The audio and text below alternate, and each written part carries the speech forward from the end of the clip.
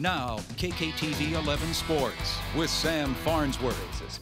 The University of Colorado at Colorado Springs announced its new athletic director today. Nathan Gibson takes over for the retired Steve Kirkham. We'll hear from Gibson coming up tonight on 11 News at 10.